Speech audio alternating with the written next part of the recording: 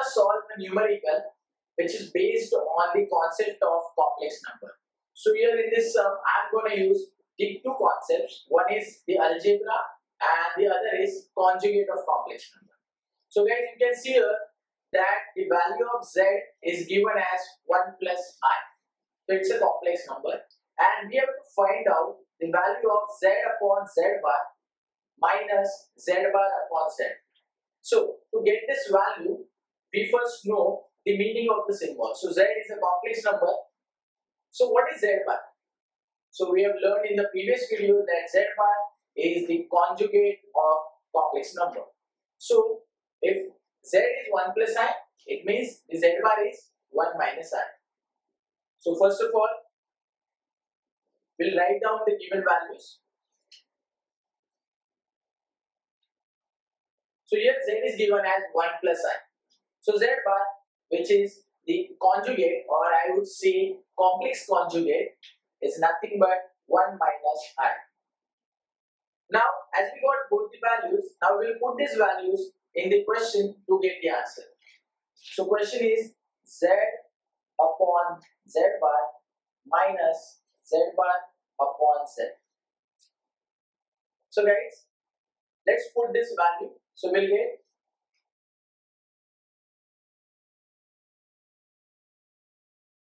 So now last task is we just have to solve these two terms to get the answer.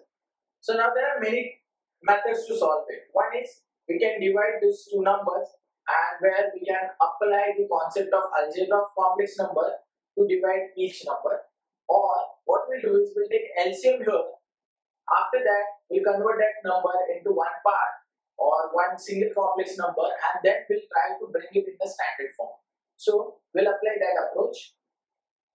So by LCM here we will get 1 plus i into 1 plus i that is 1 plus i the whole square minus 1 minus i into 1 minus i that is 1 minus i the whole square. Now in the denominator we'll multiply these two terms so we'll get 1 minus i into 1 plus i. Now guys Let's find out the square. So to find out the square, we'll use the formula of algebra that is a plus b the whole square, which is a square plus 2ab plus b square. So by that formula, here we will get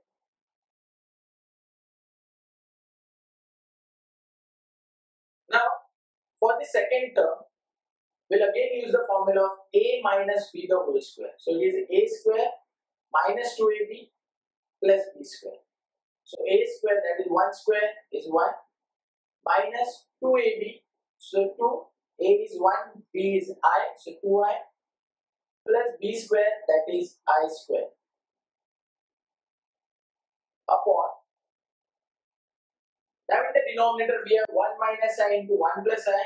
So it is by the formula of a plus b into a minus b which is equal to a square minus b square. Here we will get 1 square minus i square. Now guys, let's simplify the terms. So 1 square is 1, i square is minus 1. So 1 and minus 1 will be cancelled. So here we'll get just 2i. Middle sign is negative. Again here i square is minus 1. So 1 and minus 1 will be cancelled and we'll get only minus 2i. Upon, in the denominator, 1 square is 1, i square is minus 1, so minus minus plus, so 1 plus 1 is 2. So here 2. Now let's solve this. So minus minus plus 2i, 2i, 4i upon 2 and this will give us 2i. So the value of z upon z bar minus z bar upon z is equal to 2. So guys here we got the value of the given question by using the concept of algebra of complex number and the conjugate of complex number. And I'm sure that you understood this question. And if you want to learn more such videos on engineering mathematics and complex number, then log into ekeeda.com today itself where you can get all videos at one place. Thank you very much.